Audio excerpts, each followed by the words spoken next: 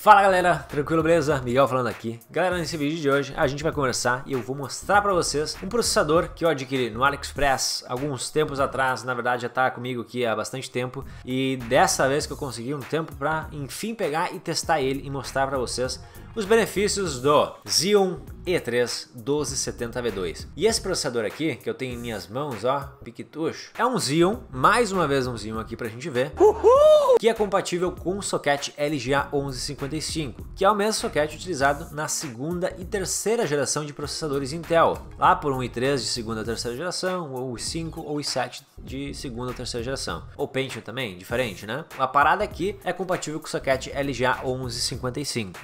Nativamente não é um processador que talvez vocês vão encontrar como compatível nessas placas mãe aí. Seja qual for o chipset dela, H61, B75, P98, Z97, etc. É um processador destinado a trabalho com servidores, tá? mas que é sim compatível em placas-mãe de socket LGA 1155.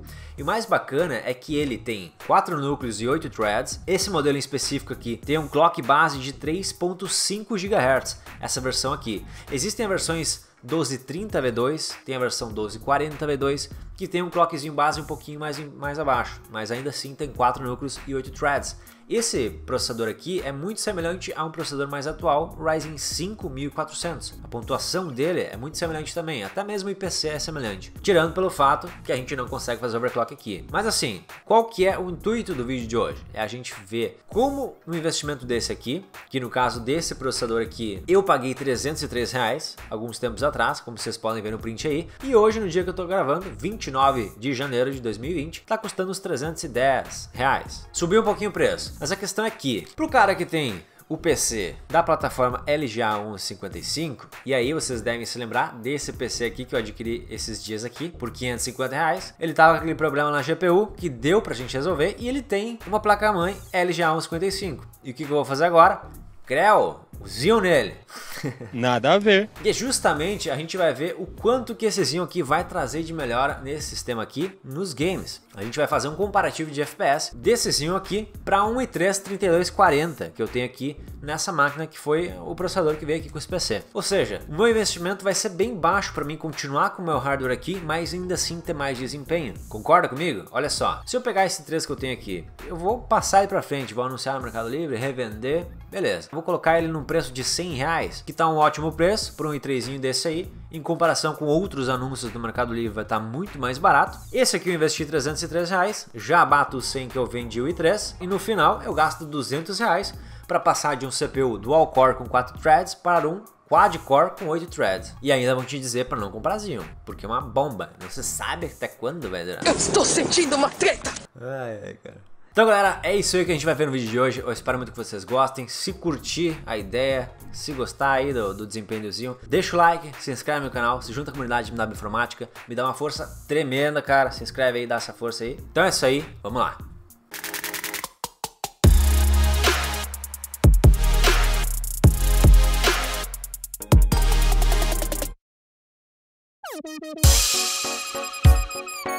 Xeon instalado no PCzão essa pasta térmica que eu utilizei, tá? Chinesa, mais simplesinha.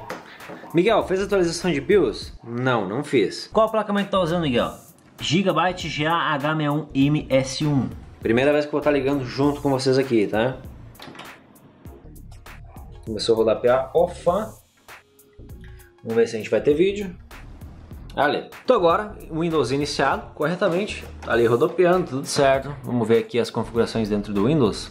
Se a gente consegue ver aqui o Xeonzão aqui, nas configurações, propriedades aqui. Olha aí, ó. Intel Xeon CPU E3 1270V2, 3.5 GHz, com frequência turbo 3.9 GHz. Minha quantidade de memória RAM instalada são 8 GB de DR3, 2 vezes 4 GB. E beleza, ó, reconheceu sem nenhum problema. Então agora eu vou fazer o que? Vou gravar aqui os benchmarks, fazer os comparativos, porque eu já gravei todos os testes com o i3, já registrei tudo. Vou fazer os testes aqui com o Xeon e logo mais eu vou voltar com os gráficos e comparativos para a gente ver o benefício, o tanto de desempenho que eu consegui aumentar nessa minha configuração, nessa plataforma LGA 155, assim como vocês vão poder também ter esse up na plataforma LGA 155 de vocês. Muito bem galera, testes concluídos, vamos lá para os comparativos então da nossa situação. Lembrando que as configurações, o PC gamer barato aqui que eu tinha comprado, ele tinha 8 GB de RAM DDR3, de 1333 MHz, quantidade de RAM. A placa de vídeo é uma RX 550 de 2 GB de VRAM, ou seja, não é uma placa de vídeo tão poderosa, mas em Full HD até que segura as pontas legalzinho na qualidade baixa.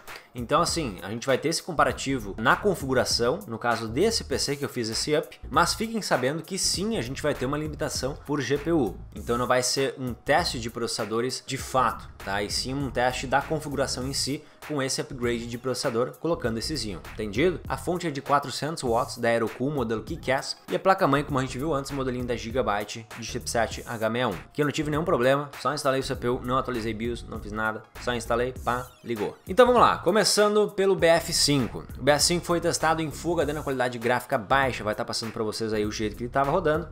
No nosso i3 a gente teve uma média no mapa Tiraileur, rodando lá 35 FPS de média, e no nosso Xeon a nossa média foi de 45 FPS, o que deu para nós 28,5% a mais de performance. No 1% low, a gente teve 1 FPS com o i3 3240, que era o caso desse meu PC, e no caso do Xeon, a gente passou para 1% low de 19 FPS, o que deu um ganho absurdo, tá, é óbvio, né? 1 FPS para 19 vai dar um ganho absurdo em porcentagem, né? de 1800%. No game seguinte, CSGO, também em Full HD nas qualidades gráficas baixa, com a situação do i3 3240, a gente teve a média de 121 FPS, enquanto que no Xeon a nossa média foi de 186 FPS, dando um boost de 53,7% na configuração. O 1% low no CSGO foi de 55 FPS no i3 e 70 FPS no Xeon, que deu 27,2% de performance a mais aí no percent low. O próximo game testado foi o GTA V, também em resolução Full HD, qualidade gráfica baixa. Na verdade, no GTA são as qualidades gráficas normais. No caso com o i3, a nossa média foi 40 FPS. No Xeon, a média foi para 88 FPS. GTA, mapa mundo aberto, né? CPUzinho com menos núcleos, sofre. Então aqui como a gente tinha mais núcleos e threads, ganhou facinho, tendo aí um aumento de 120% de performance. E no 1% low, o GTA ficou com 27 FPS no i3 e 64 FPS no Xeon. Também deu 137% a mais de performance 1% low. E por último, o nosso teste em um gamezão mais pesado também, que é o Red Dead Redemption 2. O caso com o i3, a nossa média foi de 32 FPS e no Xeon a nossa média foi de 53 FPS, dando 65,6% a mais de performance. Também é um jogo mundo aberto, pesa bastante para CPU, então tem uma diferença aí considerável, né? Assim como no GTA. No 1% low do Red Dead Redemption, a gente teve o i3 com 17 FPS 1% low e o caso do Xeon com 40 FPS 1% low, dando 135% a mais de performance, a diferença grotesca, né? Então a gente teve todo esse benefício, esse aumento de performance, usando até uma GPU mais limitada, porque tendo uma GPU melhorzinha a gente teria umas diferenças maiores ainda, tá? Porque a gente ainda teve uma limitação de GPU nesse caso. Então, o vídeo de hoje vai ficando por aqui, galera. Espero muito que vocês tenham gostado dos testes desses Xeon aí. É um baixo investimento, meu ponto de vista, para permanecer nessa plataforma e não ter que fazer toda uma troca de plataforma, trocar a placa-mãe, trocar a memória RAM e etc. Dá até um desânimo no cara, às vezes, né, de ter que pá. É, é parada chata. Então, talvez não conhecia esse processador aí, agora tá sabendo. Tem lá no AliExpress, não tem um custo muito exagerado e dá essa sobrevida para essa nossa configuração LGA 155. Galera, se curtiram o vídeo, deixa o like, se inscreve no canal, se junta à comunidade MW Informática. Um grande abraço para vocês, até o próximo vídeo e valeu!